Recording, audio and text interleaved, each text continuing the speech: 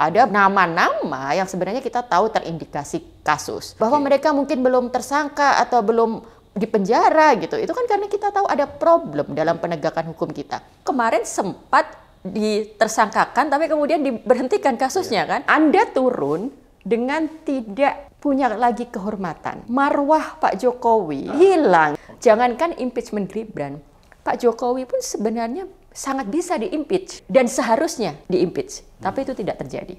Keberhasilan ekonomi yang digembar-gemborkan pemerintahan Pak Jokowi okay. itu sebenarnya kebohongan belaka.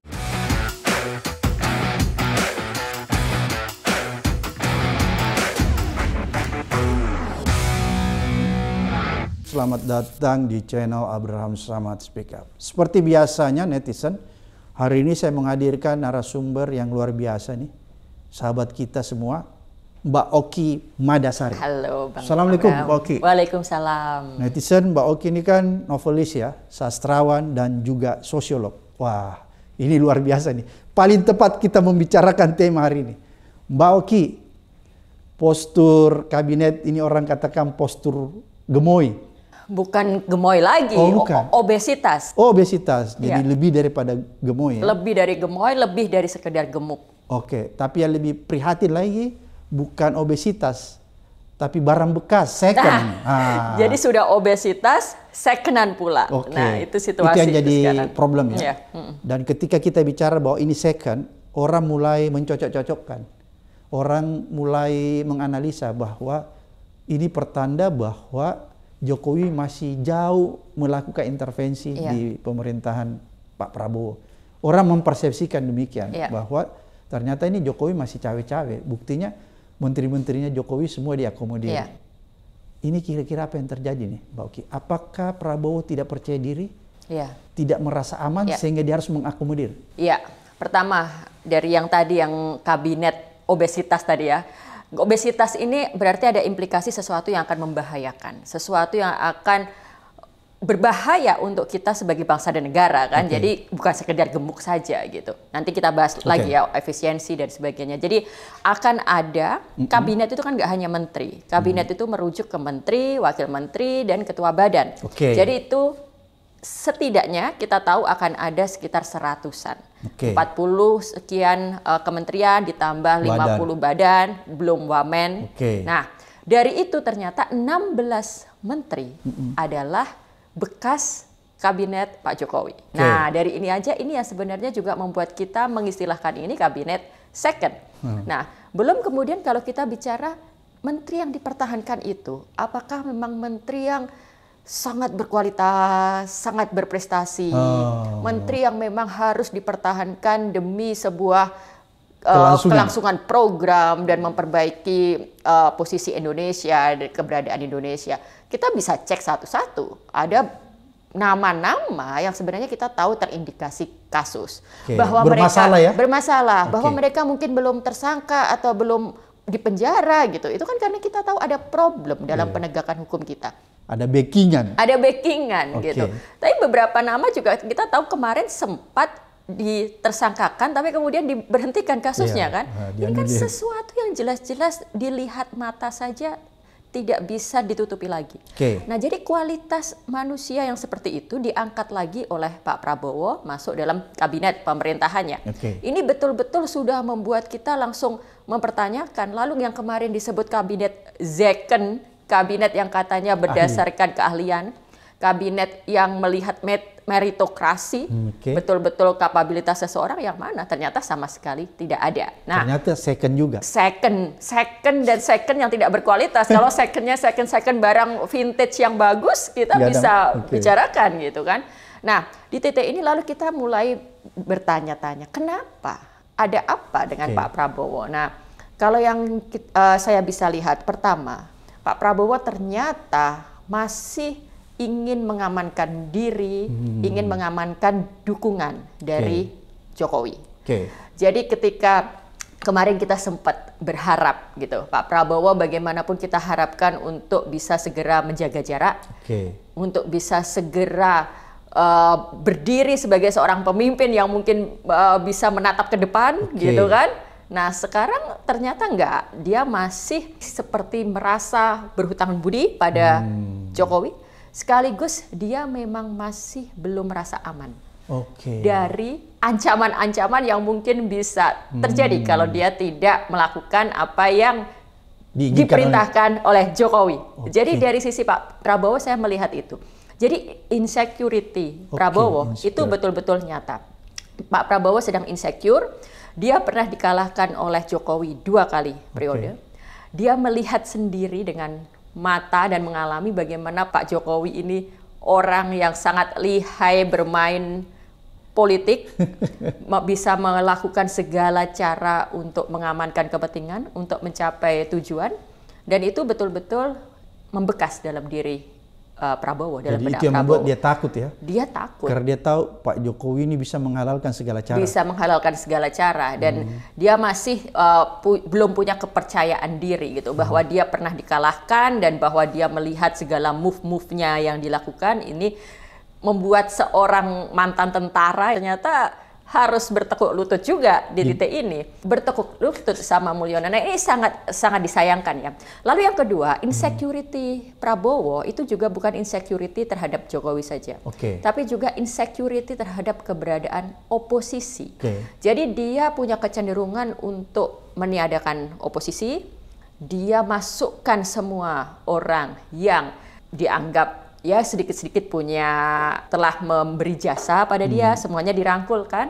Lalu kemudian dia memasukkan juga uh, pihak-pihak yang dilihat potensial akan marah, hmm. akan kecewa, dimasukkan. Jadi insecurity Pak Prabowo itu juga insecurity terhadap adanya oposisi, adanya pihak yang berlawanan. Nah, okay. jadi sebenarnya kalau kita bicara pemimpin yang kelihatannya sangar, hmm. pemimpin yang kelihatannya seram gitu, itu bukan berarti karena dia uh, bebas rasa takut atau dia benar-benar seorang pemberani. Bisa jadi itu dibentuk oleh justru insecurity insecurity hmm. tadi. Dia tidak merasa percaya diri, dia selalu melihat pihak-pihak yang berseberangan. Hmm. Dia merasa kekuasaan dia itu belum kokoh dan belum aman. Okay. Sudah kabinetnya tidak kompeten, kabinetnya hanya untuk mengamankan kepentingan, balas budi, dianya sendiri membungkam hmm. oposisi. Jadi itu yang dimaksud dengan insecurity kita. Oke, menarik nih. Berarti kalau begitu ini jelas ya bahwa Prabowo itu masih merasa tidak aman kalau tidak bergandengan tangan dengan Jokowi. Kira-kira ya. seperti itu ya, ya gambarannya. Betul. Sehingga dia masih mengakomodir semua keinginan ya kepentingan-kepentingan Mulyono. Ya. Kira-kira seperti itu. Iya, betul. Mbak Oki, kan seharusnya begini, hmm. kita masih ada harapan nih Mbak Oki. Ya, ah. Misalnya satu bulan, dua bulan, ya. tiga bulan setelah pelantikan ini Pak Prabowo melakukan evaluasi dan melakukan perbaikan kembali, hmm. ya. Tapi seumpamanya nih kita berandai-andai, ternyata lagi-lagi Pak Prabowo tidak terlalu berani melakukan perubahan yang radikal. Hmm. Apa kira-kira dampaknya? Ya, saya sangat percaya sebenarnya test case bahwa Prabowo pemimpin yang bisa kita harapkan nanti itu terlihat ketika dia mengambil sikap hmm. dengan membuka jalan untuk misalnya mengusut uh, kasus-kasus uh, pemerintah sebelumnya, okay. untuk mengadili pemerintah termasuk presiden sebelumnya jika memang diindikasikan ada pelanggaran, okay. ada korupsi. Okay. Itu adalah test case yang hmm. harus dibuktikan Prabowo. Okay. Jadi kalau Prabowo ingin mengembalikan public trust, ingin merebut simpati publik, ingin okay. menunjukkan oh, atau aku tidak paling seperti tidak indikasi. aku bukan orangnya Jokowi. Nah, dia harus menunjukkan itu. Okay. Nah, jadi uh, ini masalahnya kita faktanya adalah kabinetnya sudah mengambil Joko, Jokowi. Nah, ya. kadang-kadang kita masih punya sedikit harapan. Harapan ingin ya siapa tahu ini cuma sebentar nanti setelah Strategi. dilihat setelah dilihat tidak bisa kerja nanti di reshuffle semua diganti ya. lagi. Ya oke okay lah kalau memang itu dianggap sebagai salah satu jalan yang bisa dia lakukan. Nah, itu mungkin akan menjadi pembuktian. Jadi pembuktian dia dengan menunjukkan bahwa dia bukan orangnya Jokowi, dia bukan hanya sekedar melanjut melanjutkan pemerintahan, pemerintahan dan melanjutkan program-program yang tidak benar, melanjutkan segala salah kaprah di eranya Jokowi. Jokowi. Jadi kita semua tahu kita mendefinisikan kata keberlanjutan itu hmm. sebenarnya sesuatu yang besar maknanya gitu. Bukan kamu menjadi orang yang menjalankan perintah Jokowi itu keberlanjutan. Hmm. Keberlanjutan itu kan artinya bagaimana kita membawa Indonesia berlanjut dengan lebih baik. Oke. Okay. Bagaimana kita membawa Indonesia itu move forward, yeah, iya. maju ke depan kan yeah, gitu yeah. kan, menuju Indonesia emas yeah, iya. katanya yeah. kan. Itu keberlanjutan. Hmm. Jadi sebagai seorang pemimpin harusnya sudah berani melihat itu. Saya memang keberlanjutan, tapi saya bukan semata orang yang melanjutkan kebodohan-kebodohan pemerintah sebelumnya. Nah, itu yang harus dilakukan gitu loh. Pertama adalah lagi-lagi kita tidak uh, tidak bisa menunjukkan, hmm. tidak bisa mempertanggungjawabkan kesalahan-kesalahan dari pemerintah sebelumnya. Business as usual, okay. impunity kembali terjadi pada okay. pemimpin kita. Lalu yang berikutnya, karena Pak Prabowo merasa dia sudah mengamankan semua pihak, Jokowi, oposisi semua sudah dirangkul, dia merasa bisa melakukan segala hal, nggak ada hmm. lagi yang perlu dia khawatirkan. Ya, itu kan situasi yang sangat buruk sekali. Hmm. Jadi kalau Pak Prabowo tidak segera berubah haluan, mengambil sikap dan menunjukkan visinya sebagai seorang the real pemimpin. Oke, ini ada fenomena yang sangat menarik nih akhir-akhir di ujung lensernya Pak Jokowi. Kalau hmm. Anda lihat baik di media sosial maupun di jalan-jalan kayaknya ada upaya-upaya menggiring kita ya. ya. Kalau kita lihat di media sosial itu ada hashtag tagar ya, ya. Tentang keberhasilan Jokowi. Dan bermunculanlah akun-akun yang ya. anonim ya. ya memasang tagar tentang keberhasilan Jokowi ini. Ini kan seolah-olah dimobilisasi ya. Menurut Mbak Oki nih sebagai seorang sosiolog, kan biasanya kalau orang yang berhasil, Mbak Oki ya, ya itu kan nggak perlu buat-buat seperti itu, hmm. nggak mm. perlu memoles citra di akhir masa jabatan bahwa yeah. saya berhasil nih, karena orang bisa merasakan keberhasilan itu kan bisa dirasakan oleh masyarakat. Tapi ini sebaliknya, kok lagi-lagi di ujung akhir-akhir masa yeah. jabatan ada upaya untuk memoles citra yeah. tentang keberhasilan pemerintahan Mulyono selama yeah. 10 tahun. Ini fenomena apa nih Mbak ya, Nah ini dua hal nih, fenomenanya ada dua hal nih. Okay. Yang pertama kalau kita bicara baliho-baliho tadi, yeah Lalu tadi Bang Abraham bilang seolah-olah dimobilisasi, bukan seolah-olah, memang mobilisasi. Okay.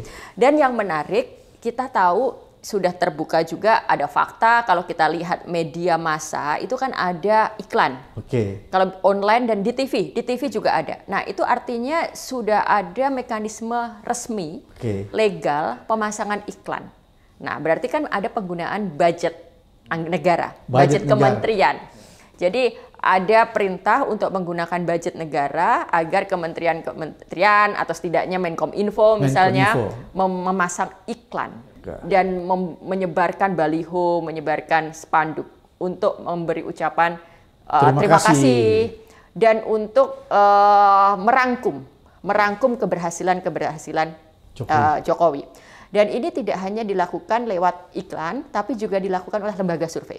Okay. Jadi Uh, ya kita tahu lah survei ada metodologinya, ada cara ilmiahnya, tapi kemudian kita ini juga bicara lebih kritis juga soal timing, soal apa yang di highlight gitu. Okay. Jadi ada mobilisasi, ada penggunaan uang negara hmm. yang didistribusikan dalam bentuk iklan media massa. Dimobilisasi oleh Kementerian Info ya? Menkom Info okay. dan Nah, nah ini butuh dikonfirmasi nanti ya. Katanya juga sebenarnya setiap kementerian ada instruksi juga untuk melakukan dengan cara yang berbeda-beda. Kan ucapan terima kasihnya bisa dengan beragam bentuk kan. Okay. Tapi intinya adalah untuk menunjukkan keberhasilan pemerintahan hmm. Jokowi dan mengucapkan terima kasih. Nah, ini juga dilakukan oleh lembaga survei gitu. Hey. Jadi kita tahu lembaga survei memang punya metodologi, bisa ya dia bisa mengatakan ini ilmiah dan sebagainya. Tapi kita bicara lebih kritis dalam hal timing hmm. dalam hal apa yang hendak di highlight, apa yang digarisbawahi. Nah, semuanya kan rata-rata misalnya uh, beberapa lembaga survei yang memang memberi image positif itu kan mau mengatakan bahwa keberhasilan ekonomi, hmm. uh, indeksnya bagus. Jangan dulu Mbak Oki, ini kan lembaga survei yang baru-baru merilis ini tentang kepuasan orang. Ini kan lembaga surveinya yang memang berafiliasi ya sama Jokowi. Jadi sebenarnya bisa di challenge juga. Tapi lanjut. Iya. ya. Nah, tapi kan kita bicara tentang publik di luar okay. sana yang kadang ya kita harus terus uh, jelaskan gitu kan. Ya. Nah, gitu. Jadi Jadi uh, pop, uh, popularitas kepuasan, kepuasan, kepuasan publik masih tinggi gitu. Nah itu kan butuh juga kita lihat secara jeli gitu. Uh, Padahal menurut Mbak Oki itu manipulasi kira-kira. Ya, uh, saya tidak mengatakan proses surveinya manipulasi dan sebagainya okay. ya, tapi saya selalu mengajak kita semua untuk melihat segala publikasi hmm. pengetahuan termasuk okay. survei itu dengan lebih kritis. Okay. Karena ada juga survei lain. Hari ini SMRC yeah. itu merilis survei. Tapi kemudian pertanyaan surveinya adalah soal apakah Anda uh, takut bicara po politik di masa Jokowi? Dibilangnya iya, semakin banyak orang takut hmm. untuk bicara politik di masa pemerintahan Pak Jokowi. Nah, ini kan juga cara uh, cara lembaga survei untuk bertanya dan mengumpulkan hmm. data. Apanya yang mau di-highlight oh. gitu kan. Jadi kalau kita memang mau uh, menunjukkan bahwa orang puas, ya kita giring dong dengan pertanyaan yang okay. seperti itu. Jadi secara ilmiah memang bisa dipertanggungjawabkan, hmm. tapi kita kemudian bisa mempertanyakan bagaimana pertanyaan ilmiah itu hmm. dihadirkan. Metodenya. Nah, bagaimana itu semua memang ditujukan untuk menghasilkan sebuah result hmm. yang mendukung apa yang ingin disampaikan. Nah, itu. Jadi metode survei itu dipakai juga untuk uh, memoles ini, memoles citra, citra di akhir di akhir jabatan ini. Dan salah satu juga yang selalu dilakukan ini di saat negara krisis, Jokowi itu selalu kemudian turun ke pasar, turun ke mall, okay. lalu dia akan terlihat didatengin banyak orang, banyak yeah. yang foto, yeah. lalu dipublikasikan gambar itu yeah. untuk menunjukkan bahwa dia tetap dicintai. dicintai. Okay. Nah ini kemarin kemarin yang juga diikuti oleh anaknya kan Gibran, eh Kaisang. Okay. Jadi saat kita lagi benar-benar marah perkara jet kemarin. Okay. Lalu setelah beberapa lama dia muncul dengan kaos anak Mulyono, lalu yeah. menunjukkan dia masih disalami, masih dicium orang. Nah, ini yang dilakukan oleh Pak Jokowi. Jadi hmm dia selalu ingin menunjukkan bahwa dia masih dicintai, hmm. dia masih mempunyai citra bagus dengan berbagai metode dan di akhir jabatan ini kita lihat setidaknya ada tiga metode yaitu adalah dia turun langsung, tetap okay. disambut dan itu disebarkan. Lalu yang kedua adalah penggunaan uh, publikasi survei. Okay. Lalu yang ketiga adalah pengerahan budget negara untuk membuat iklan-iklan hmm. di media massa dan membuat baliho-baliho di mana-mana. Nah, itu kan juga mobilisasi. Lalu saya dengar nanti juga akan ada mobilisasi orang di Solo. Jadi orang akan menyambut. Nah, hmm. jadi ini semua memang sedang dilakukan sistematis okay. oleh Pak Jokowi. Nah, pertanyaannya, kenapa gitu yeah. kan? Jelas dia ingin dikenang sebagai pemimpin yang hebat. Dia hmm. ingin dilihat sebagai orang yang tetap dicintai, okay. disambut di padahal ya secara logika kalau baliho dipasang di mana-mana kita tahu itu semua nggak organik kan iya. gitu kan. Jadi, sama bentuk balihonya ya. Iya gitu. Nah dia ingin menciptakan ilusi itu. Jadi ilusi. itu sebenarnya hanya ilusi iya, gitu. iya. nah lalu uh, yang harus kemudian kita sadarkan di sini gitu. Kita harus mengatakan Pak Jokowi upaya itu semua sebenarnya sia-sia.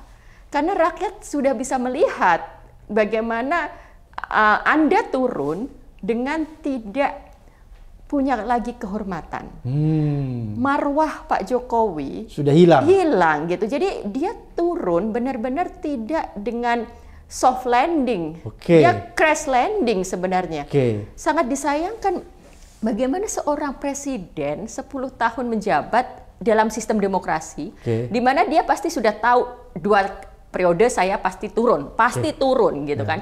Jadi kan siapa pun pasti harus merencanakan dia turun dengan terhormat, turun dengan tetap dikenang legasinya, turun dengan uh, marwah yang baik.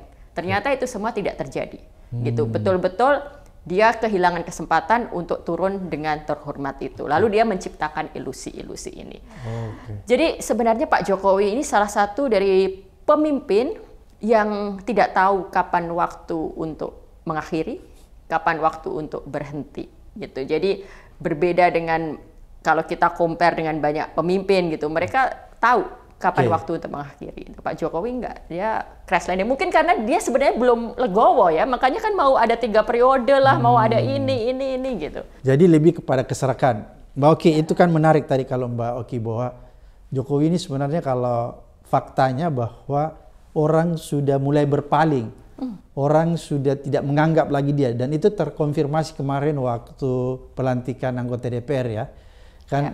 hiruk pikuk orang memberikan sambutan kepada hmm. presiden terpilih Pak Prabowo tapi kemudian waktu Jokowi itu kan nggak disambut dan dia cuma bisa berjalan sambil menundukkan kepala tidak lagi tatapannya ke depan kalau kita yeah, lihat kemarin yeah, yeah. nggak ada tepuk tangan lagi hmm. apakah itu semakin memperlihatkan kepada kita semua bahwa ternyata yang orang sebut kecintaan orang kepada Jokowi selama ini memang adalah kecintaan palsu yang dibuat-buat aja oleh Basar dan lain sebagainya. Bisa ya bisa enggak. Maksudnya gini, pertama mungkin dulu memang banyak yang terbius. Waktu ba periode uh, pertama. Periode pertama. Jadi Mbak Oki juga termasuk? Saya enggak, oh. saya enggak, tapi saya memilih dengan sadar gitu oh, kan. Okay. Saya karena saya membandingkan mana yang jadi saya buka aja, saya milih okay. gitu. Nah, tapi tapi uh, bukan jatuh cinta kan? Bukan jatuh cinta, Cuma karena kan apa tuh realitas politik? Uh, logika seorang pemilih rasional oh, kita okay. menolak untuk jadi fans. Okay. Saya nggak pernah jadi fans okay. gitu. Nah, jadi kemudian uh, banyak yang menjadi fans kemarin okay. itu. Jadi rasionalisasi seorang warga negara yang punya hak untuk pilih untuk mendukung itu kemarin itu dihilangkan dan hmm. semuanya banyak yang berubah menjadi fans gitu. Okay. Jadi semuanya nggak tahu, uh, pokoknya nggak mau tahu. Yang penting aku cinta, aku hmm, mendukung. Fans fanatik ah, nih. Fans fanatik okay. gitu. Nah jadi ada juga yang seperti itu dan saya pikir tidak sedikit juga. Nah okay. jadi tapi kemudian ketika segala hal terjadi di depan mata, terlihat ya semuanya nggak nggak bisa bohong lagi semuanya oh, okay. marah gitu ya kita kembali ke yang peristiwa 22 Agustus kemarin itu okay. masih sebuah bukti nyata okay. bagaimana masyarakat kita sebenarnya sudah sangat muak hmm. gitu dan kita berhasil ya kemarin bang benar-benar berkat gerakan kawan-kawan semua berkat okay. suara publik suara media massa media sosial hmm. Kaisang kan gagal untuk okay. jadi wakil gubernur nah sekarang nih sebenarnya kemuakan terhadap wakil presiden terpilih. Oke. Okay. Itu kan masih ada. Oke. Okay. Jadi kita tadi bicara tentang Prabowo ya, hmm. kita mas bicara tentang bagaimana kepemimpinan dan sebagainya. Tapi kita nggak ada persoalan dengan Prabowo. Yang persoalan ini wakilnya ya. Ya, nah Wakil. sekarang wakilnya ini kan kita tahu dia itu dia ini masih menyimpan dosa yang jelas-jelas baru terjadi kemarin hmm. tentang bagaimana dia ditempatkan uh, sebagai, sebagai wapres yang melanggar konstitusi, konstitusi melanggar, etika. melanggar etika dan berbagai pelanggaran okay. yang terjadi selama kampanye yang kita tahu gitu. Nah lalu kemudian dilanjutkan lagi dengan soal fufu fafa ah, akun fatal. akun yang ya sudah jelas sebenarnya tidak itu bisa dipungkiri dia gitu kan. Nah ini kan publik juga melihat kualitas seorang hmm. pemimpin publik bisa melihat kok orang seperti itu hmm. jadi wapres kita gitu. Nah belum lagi yang saya juga menyoroti bagaimana dia dengan entengnya bilang dia nggak pernah baca buku, dia tumbuh dalam keluarga yang nggak baca buku. Itu kan betul-betul sebuah situasi yang menunjukkan kualitas seorang wakil presiden. Hmm. Saya pikir masyarakat kita cukup cerdas okay. untuk sebenarnya tahu bahwa seseorang dengan kualitas seperti itu tidak layak hmm. duduk sebagai wakil presiden. Oke. Okay. Nah, cuma kan kita sedang berada pada situasi yang sama-sama tidak tahu harus mulai dari mana atau menyelesaikannya bagaimana kan, okay. Bang Abraham kan. Selalu sebenarnya kita selalu uh, ada solusi katanya, misalnya lewat impeachment. Oke. Okay. Bang Abraham di table ini kita ini sudah menggiring soal itu dari awal. Yeah. Kita sudah selalu menyiratkan hak angket, hmm. hak bertanya. Impeachment adalah proses biasa gitu, harus dilakukan tapi kan kita tahu proses politik kita, hmm. proses kita uh, anggota DPR kita tidak yeah. bisa diharapkan. Oke. Okay. Akhirnya impeachment sampai hari ini nggak pernah. Nggak pernah. Okay. Jadi kalau teman-teman diskusinya kemarin, karena kemarin saya kebetulan baru diundang diskusi sama Ferry Amsari juga soal yeah. impeachment Gibran. Okay. Jangankan impeachment Gibran, Pak Jokowi pun sebenarnya sangat bisa diimpeach. Okay. Dan seharusnya. Seharusnya. Diimpeach. Hmm. Tapi itu tidak terjadi. Nah, sekarang kan kalau mau ditarik impeachment terhadap Gibran, Gibran itu seharusnya sangat bisa, sangat mungkin. Hmm. Pertanyaannya anggota DPR-nya gimana? Siap nggak nanti?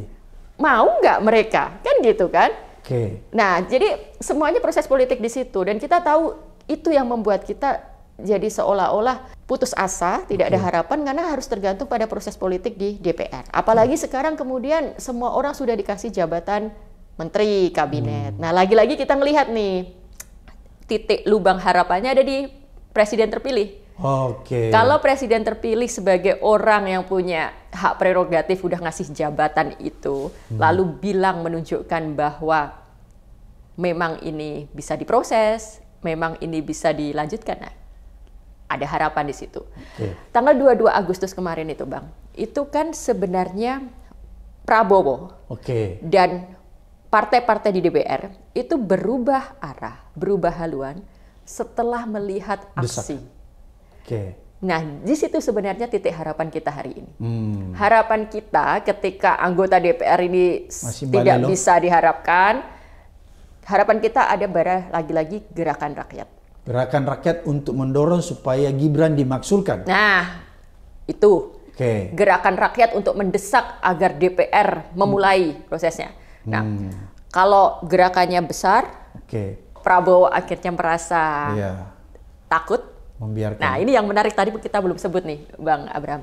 Saya sangat percaya Prabowo itu orang yang sesungguhnya takut terhadap gerakan massa. Hmm. Prabowo itu takut dengan demonstrasi. Okay. Ini terlihat dari statement dia tentang 98 misalnya, yang dia selalu bilang bahwa itu intervensi asing, okay. bahwa gara-gara demo 98 kita justru mundur. Okay. Lalu uh, itu tidak ya jangan sampai itu terjadi lagi okay. dan sebagainya. Nah, lalu kita fast forward ke 22 Agustus. Okay ada gerakan demonstrasi seperti itu, dia juga gentar kan. Dia takut bahwa itu akan mengganggu hmm. uh, pelantikan dan sebagainya. Lalu kemudian dia menganulir. Ah, okay. jadi di titik ini sebenarnya kita tahu harapannya ada di situ. Okay. Kita nggak bisa langsung berharap ke Prabowo, kita nggak bisa langsung berharap ke DPR, mendesak hmm. DPR. Kita hanya bisa berharap pada gerakan civil society, okay. gerakan mahasiswa, gerakan masyarakat sipil. Hmm kita buat gelombang desakan yang membuat akhirnya seorang Prabowo dan anggota DPR mau takut terdesak dan akhirnya mau melakukan yang seharusnya dilakukan sesuai dengan prinsip demokrasi. Yaitu memaksulkan, memuluskan ya untuk memaksulkan Gibran itu sebenarnya. Jadi intinya gerakan apa civil society yang tadi Mbak Oki katakan seperti tanggal 22 Agustus itu harus dia membesar agar mendorong pemerintahan Prabowo dan DPR agar mau menyidangkan dia, ya. memaksulkan yeah. Gibran ya, yeah. sehingga bisa menurunkan Gibran. Kira-kira yeah. seperti itu. Ya, kira-kira seperti itu. Dan saya akan bilang bahwa itu salah satu saja. Hmm. Itu salah satu hal yang bisa kita tuntut. Okay. Banyak hal lain yang bisa kita tuntut juga. Misalnya hmm. kita menuntut pengadilan peradilan terhadap Jokowi. Oke. Okay. Nah, tapi itu kan lewat harus dari desakan publik, desakan hmm. masyarakat. Oke. Okay. Dan tanpa itu kita tahu semuanya akan dianggap biasa-biasa aja. Semua sudah dikasih jabatan, sudah diamankan ya susah. Kita nggak bisa berharap ke para politisi dan elit. Berharapnya ke gerakan masyarakat. Berarti yang terpenting menurut Mbak Oki ini karena ini yang akan mengancam uh, eksistensi sebuah demokrasi kita yaitu bagaimana segera kita mendorong DPR maupun pemerintahan Prabowo agar mau memaksulkan Gibran. Kira-kira seperti itu ya? Dan mengadili. Mengadili. Jokowi. Oh Jokowi. Itu yang terpenting. Apa konsekuensinya nih Mbak? Kalau misalnya Gibran tidak berhasil nih dimaksulkan.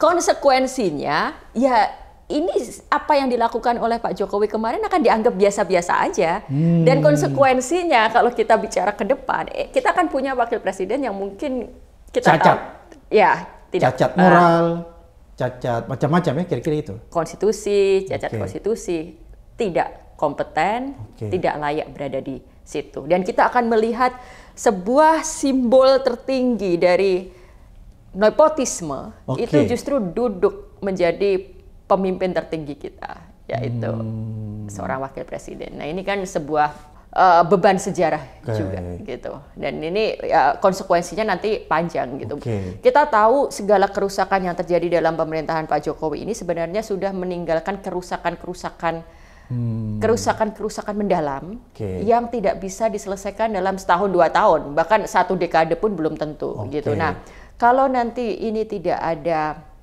sebuah bentuk perbaikan, perbaik, sebuah uh, langkah nyata untuk menunjukkan bahwa ini salah dan hmm. ini harus mempertanggungjawabkan, berarti nggak ada yang menganggap salah. Oke. Okay. Akhirnya segala kerusakan, segala hmm. kesalahan yang ada ini terus dibiarkan menjadi pangkal dari lahirnya segala kerusakan-kerusakan hmm. dan kesalahan-kesalahan berikutnya. Impunity sudah akhirnya menjadi sesuatu hmm. yang tidak bicara satu dua orang, tapi se sebuah rezim, okay. se sebuah sistem. Jadi sebuah sistem yang salah, rezim yang salah, itu semuanya lepas dari pertanggungjawaban dan kewajiban untuk mempertanggungjawabkan sesuatu. Berarti saya tangkap nih bahwa betapa impactnya itu sulit untuk diperbaiki dalam tempo yang singkat ya. Oh, Dia memerlukan tidak waktu. mungkin. Ya. Nggak mungkin ya. Jadi hmm. inilah PR Pak Prabowo ya. Iya, apalagi sudah ada juga yang bilang bahwa nanti presiden selanjutnya Gibran. Oh. ini, ini kan berarti sudah kalau tidak diselesaikan sekarang akan terus berlanjut dan mengakar hmm. gitu. Berarti tidak ada kata lain selain bahwa Gibran harus dimaksurkan ya kalau untuk menyelamatkan Republik ini. Kira-kira seperti itu? Iya. Oke, ini kan kalau kita lihat banyak studi yang menempatkan sebenarnya bahwa kondisi negara Indonesia ini di bawah rejim Mulyono sesungguhnya bukan lagi sekedar tidak baik-baik saja. Ya. Namun dia sudah berada di tepi jurang. Hmm. Dia menuju ke negara yang kita sebut negara gagal ya demokrasinya hancur, hukumnya, politiknya semua hancur. Hmm. Belum lagi saya ingin membaca nih sedikit apa nih uh, data ya. Belum hmm. lagi kalau kita lihat kondisi ekonomi ya, kondisi ekonomi rumah tangga yang semakin hancur. Hmm. Di sini datanya menarik Mbak Oki, berdasarkan data Susenas tahun 2023 menunjukkan bahwa ada sekitar 8,5 juta atau 18,8 persen warga yang selama ini menempati kelas menengah ya. sedang terancam nih turun kelas menjadi kelas bawah atau kelas yang boleh dikategorikan miskin. kelas miskin. Ya. Ini yang berbahaya menurut saya.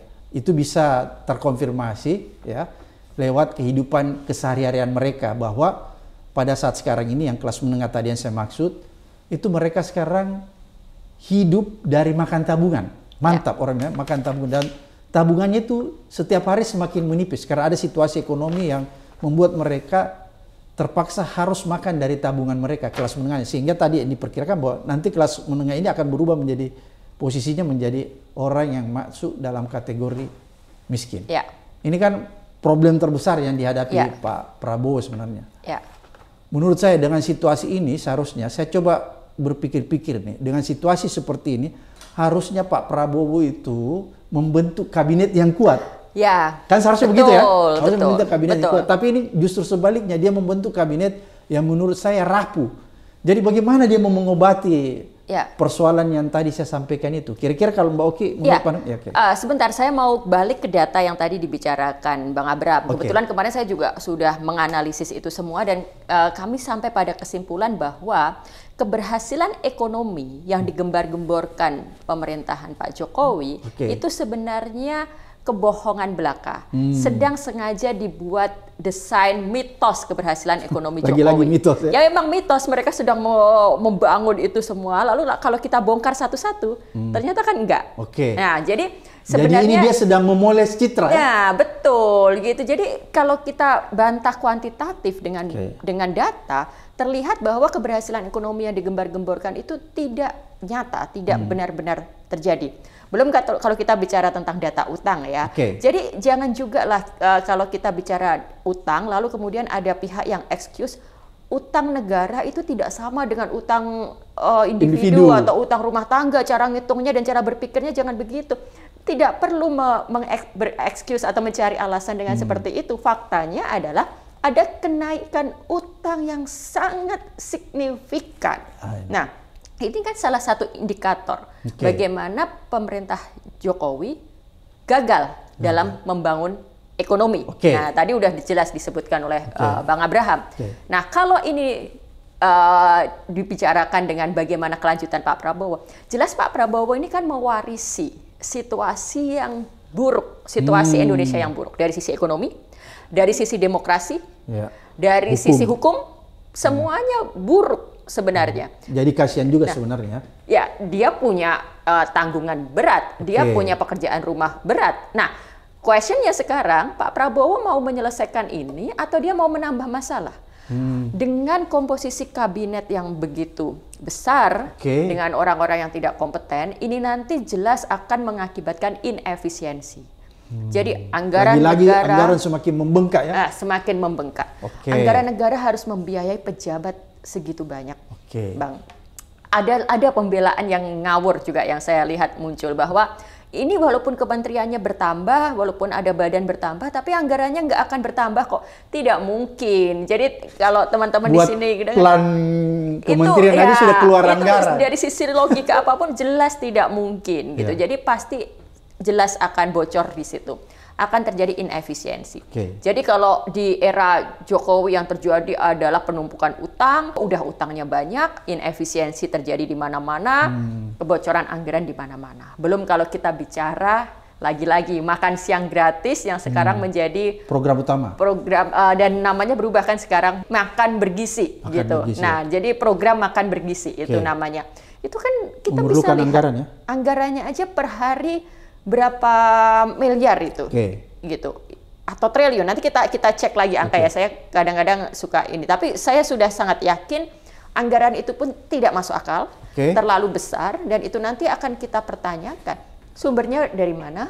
Lalu bagaimana menempatkan itu dengan uh, kebutuhan yang lain? Okay. Kalkulasi biaya negara, anggaran pendapatan belanja negara bagaimana ketika ada pos-pos yang sedemikian besar?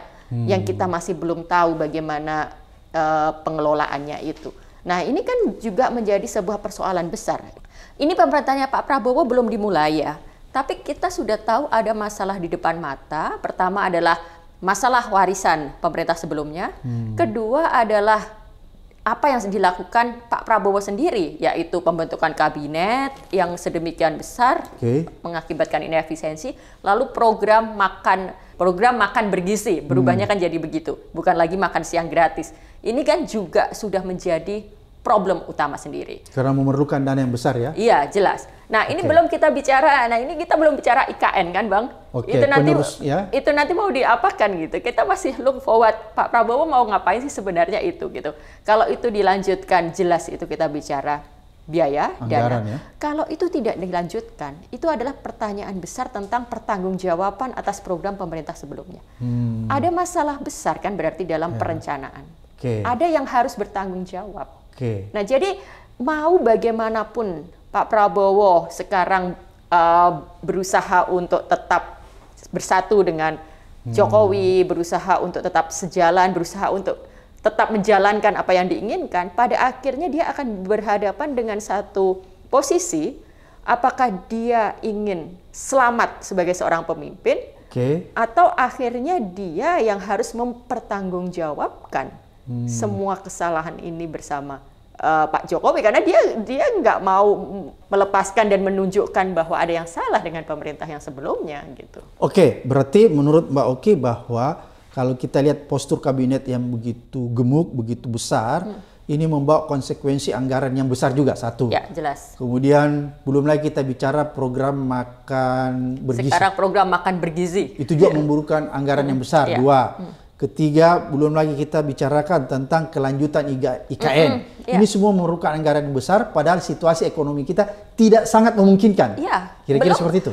Utang luar negeri kan tetap ada. Hmm. Bukan bukan kok Pak Jokowi udah bukan presiden lalu utang luar negeri hilang kan enggak. Yeah. Jadi Pak Prabowo tetap harus membayar itu semua gitu. Okay. Kita belum belum tahu itu nanti bagaimana. Bagaimana gitu. skemanya? Oleh hmm. karena itu sebenarnya kalau menurut pandangan sosiolognya Mbak Oki, harusnya ini yang dibenahi dulu supaya kita bisa keluar dari problem masalah yang kita hadapi. Ya harus yang harus dibenahi nih Pak Prabowo mau tiba-tiba uh, mengurungkan niat okay. untuk membuat kabinet yang sedemikian tidak efektif okay. yang akan menyedot anggaran. Okay. Dia bisa dia bisa dalam waktu uh, hanya beberapa hari kemudian membatalkan Memangkas, ya? keputusannya sendiri dia bisa okay. kalau okay. dia memang merasa itu salah. Okay. Lalu program makan bergizi kalau memang dirasa itu tidak sesuai dalam kalkulasi ekonomi, dalam kalkulasi sosial budaya itu tidak hmm. cocok. Kita lihat bahwa pelaksanaannya pun tidak berdasarkan studi nanti, tidak hmm. berdasarkan riset, itu nanti kan akan menimbulkan masalah sendiri. Okay. Ya dia bisa cut. Memang itu akan mengecewakan banyak orang yang kemarin memilih Pak Prabowo karena mau dikasih makan siang gratis, kan? Tapi buat saya, kalau memang uh, Pak Prabowo berpikir lebih komprehensif, berpikir tentang masa depan yang lebih baik, yang nggak ada masalah dia akhirnya membatalkan satu program yang menjadi janji kampanyenya itu. Dan itu mungkin bisa salah satu faktor yang bisa menyelamatkan keuangan kita dan masa oh. depan kita.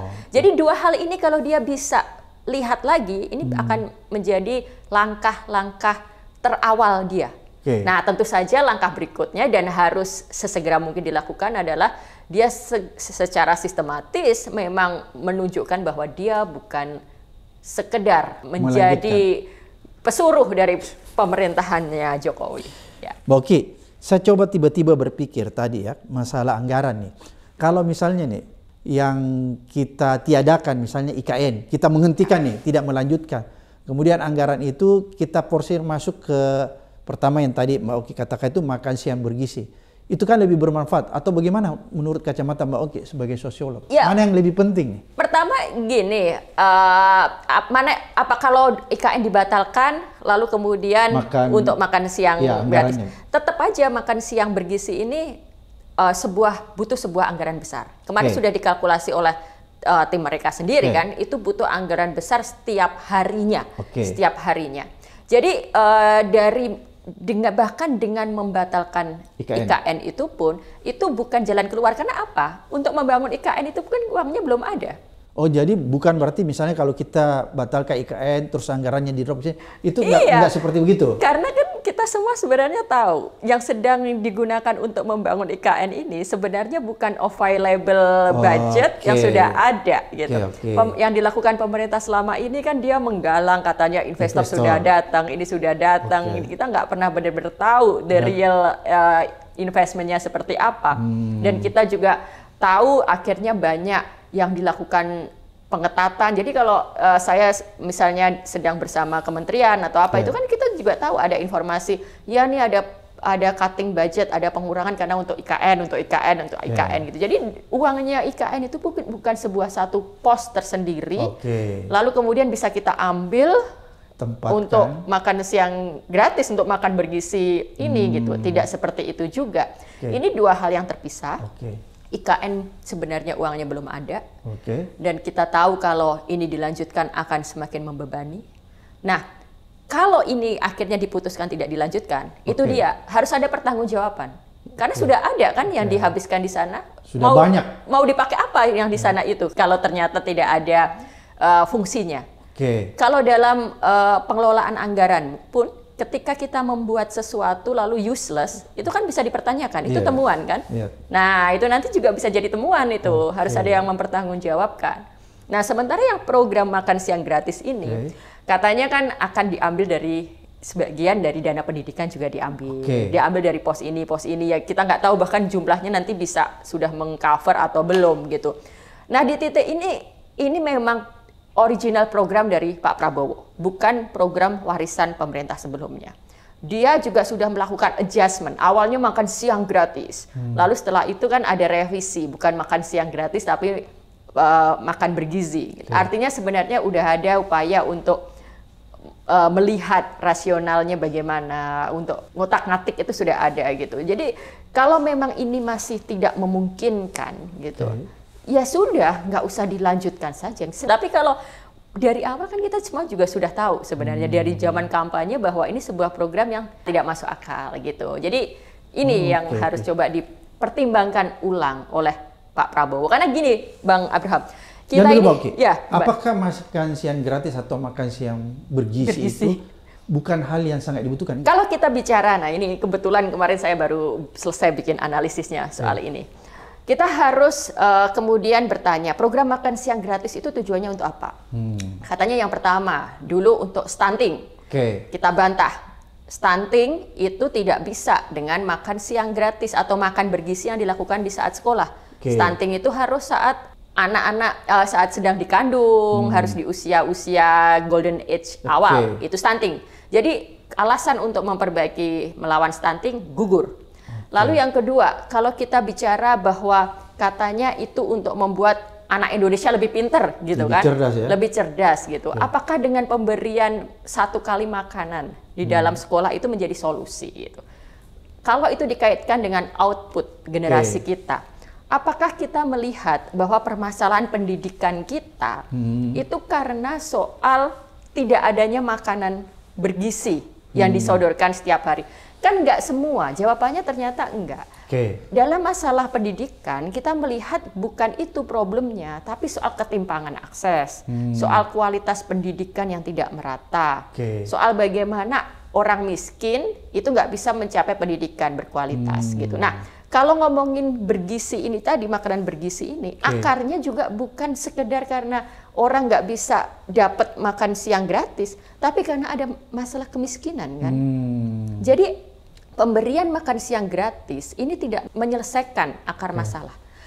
Problemnya adalah banyak orang di Indonesia tidak hmm. bisa beli protein hmm. karena duitnya nggak ada. Jadi lagi-lagi problemnya karena kemiskinan. Kemiskinan. Oke. Okay. Jadi daripada kayak gitu buka aja akses pangan yang berkualitas, hmm. murah di seluruh Indonesia. Oke. Okay. Hapuskan itu barrier-barrier. Eh, kita harus nyebut lagi kasus korupsi. Yeah. Korupsi impor daging. Ya. Permainan mafia Pokoknya impor yang bahan pangan. Yang terjadi bah di pangan ya. Nah, itu kan akarnya di situ. Okay. Jadi berkomitmen saja menyelesaikan itu, hmm. kita sudah mengatasi masalah stunting, hmm. kita sudah bisa mengatasi masalah kekurangan gizi di Indonesia. Hmm. Sembari kita memperbaiki sektor pendidikan yang memang harus diselesaikan okay. itu. Jadi jangan berpikir kita ngasih nasi kotak setiap hari di sekolah okay. itu pun nanti kita masih harus berhadapan dengan pengelolaannya. Bang Abraham kalau ngikutin berita, mm -hmm. bulan lalu ada PON, Pekan okay. Olahraga Nasional ya, di Aceh, sebuah event besar. Okay. Nasi Berant kotakan, nasi jatah makan untuk atlet. Jadi dan ini bukan reguler tiap hari untuk anak sekolah ya, ini untuk atlet, orang-orang terpilih. Ternyata kemudian nasi kotaknya sangat memprihatinkan. Berantakan ya. Berantakan, tidak sesuai dengan budget yang hmm. awalnya dikatakan. Benar-benar tidak layak untuk sebuah okay. konsumsi atlet. Nah, itu untuk bicara PON, sebuah acara yang tidak digelar setiap hari, sebuah hmm. acara istimewa di mana yang dikasih jatah makan itu hanya beberapa orang saja. Okay. Lalu sekarang kita bicara tentang anak sekolah se-Indonesia hmm. di beragam daerah. Itu nanti distribusinya bagaimana distribusi anggarannya? Ketika kita tahu korupsi terjadi di setiap lini. Okay. Nanti misalnya anggaran makan siangnya satu anak katanya kan kemarin 15 ribu okay. gitu kan. Nyampe di an satu anak jangan-jangan 5 ribu hmm. gitu kan hmm. dipotong-potong-potong gitu. Lalu kenapa saya katakan ini juga sebuah program yang tanpa riset.